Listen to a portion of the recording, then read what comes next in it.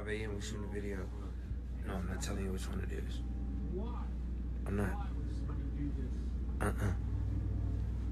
Okay, maybe a little bit. Psych.